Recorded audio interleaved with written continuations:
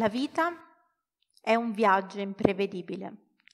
Ad ogni svolta della strada sono stata invasa dal rumore di migliaia di domande e dal silenzio di nessuna risposta. Lo so bene che cosa vuol dire sentirsi spaesati, completamente persi in noi stessi, in balia di paure ed angosce, in balia di quei venti contrari che ci portano a credere di non essere abbastanza, di non valere, di abbandonare la strada maestra perché è complessa, per imboccarne una più asfaltata, più diritta, più semplicemente percorribile. Ma la vita è così, è una gran bastarda e lo dico con senno di causa. Ma non possiamo, e lo dico a me tanto quanto a voi, non possiamo piegarci ai suoi voleri con inerzia, ma dobbiamo continuare a lottare, a combattere, ad andare avanti, nonostante gli ostacoli, nonostante le cadute.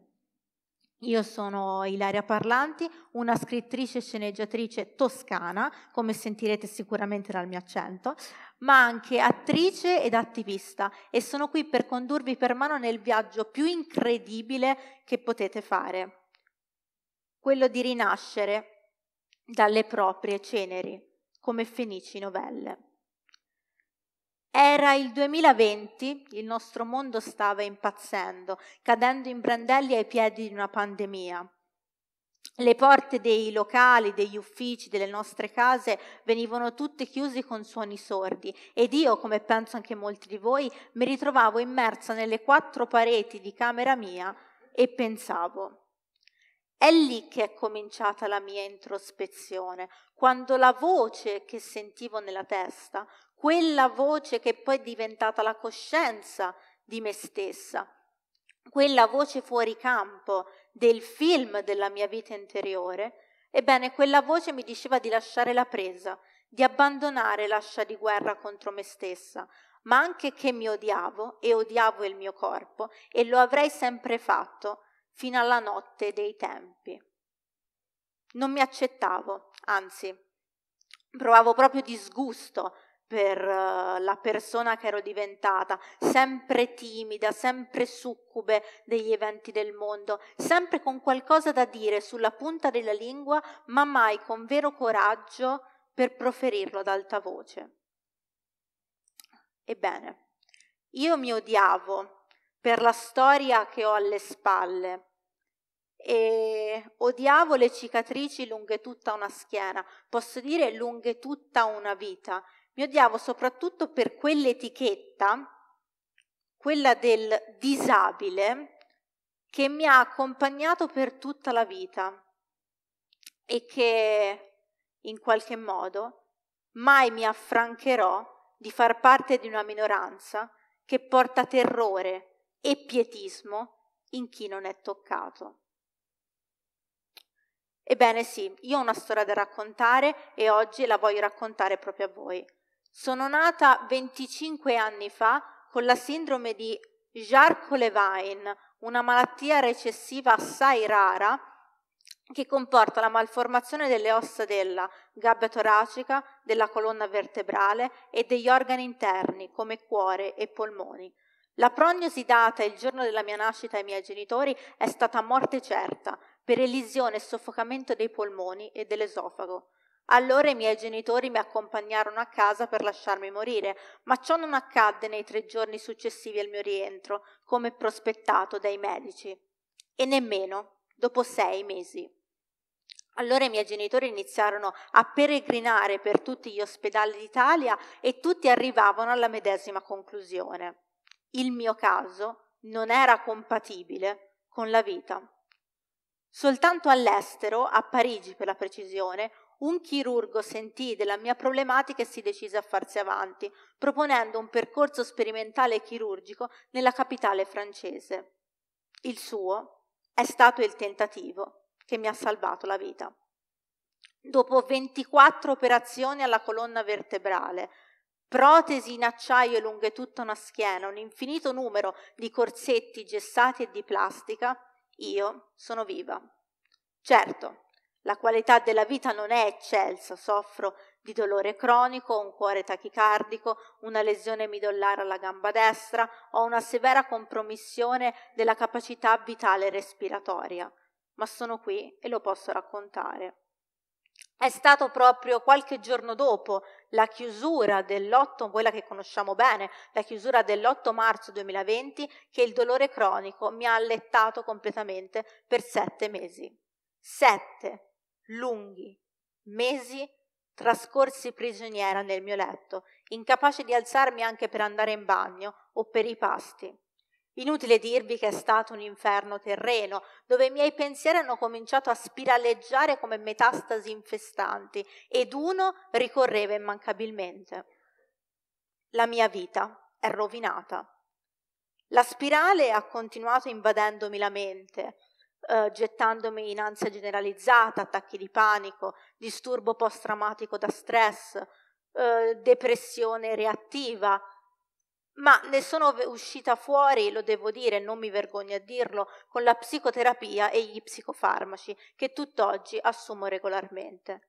Ma come ho fatto davvero ad uscirne? In due modi. Primo, ho cercato un chirurgo che si decidesse a rischiare il tutto per tutto e a riportarmi in sala operatoria, eh, estirpandomi la causa fisica del dolore cronico. E due, scrivendo. Scrivere è la mia passione, ma chiamarlo passione sarebbe riduttivo. Scrivere è la mia ragione di vita ed ha fatto parte della mia terapia.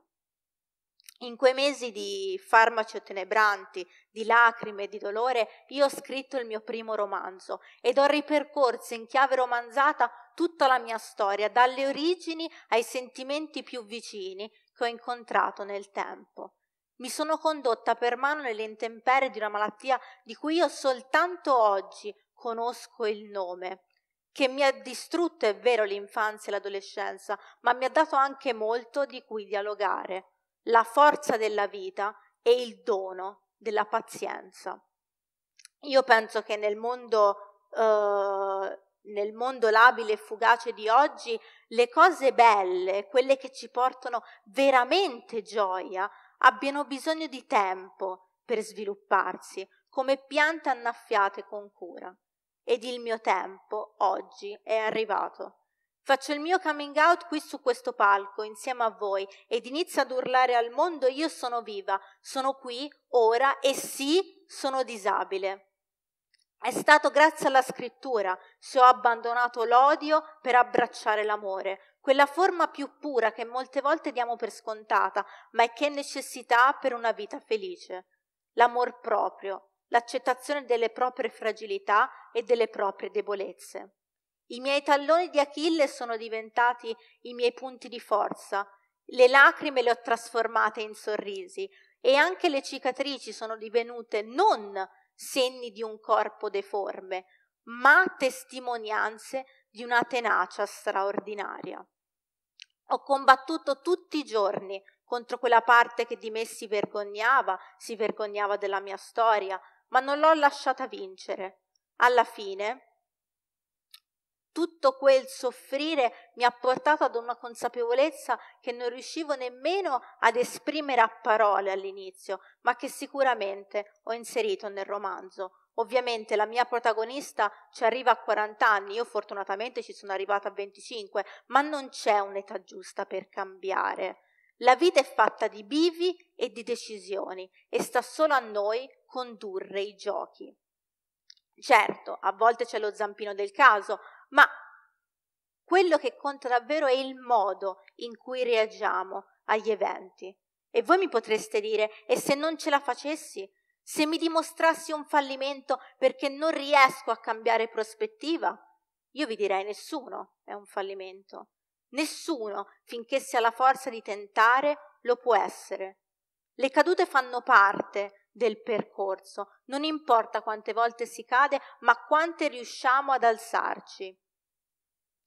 Io ho preso la mia decisione un anno fa, non mi sarei più nascosta dal giudizio degli altri. Mi sono guardata allo specchio e ho deciso che sarei cambiata.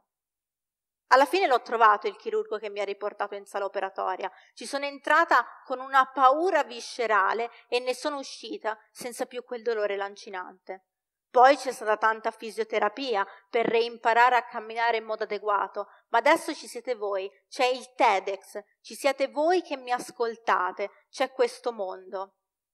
Allora vi chiedo però di non prendermi come un esempio infallibile da seguire, perché comunque sono umana e sono soggetta all'errore.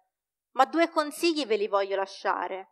Siate sempre voi stessi ed inseguite i vostri pazzi sogni perché la vita è fatta per i sognatori ribelli. Siate diversi ogni giorno della vostra vita affinché il cambiamento sia reale e possa essere attuato.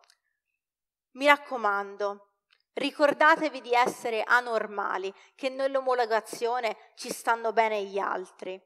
Insomma, la scienza ci dice che il DNA umano è fatto diverso per ogni singola persona, quindi non esiste una uguale all'altra come si suole pensare. Siate diversi, non abbiate paura. E se siete un po' perfezionisti, come lo sono io, colma di timidezze e di paure, vi dico una frase che affermava il fisico Stephen Hawking. L'universo non ammette perfezione. Pensate, ma non troppo. Siate intrepidi ma anche razionali. Perdonatevi delle colpe che portate come proprie, ma che magari non sono nemmeno di vostro pugno. Amatevi. Io vi ho detto all'inizio che la vita è un viaggio imprevedibile. E allora in questo viaggio imprevedibile che chiamiamo vita, ricordatevi di essere felici. Grazie.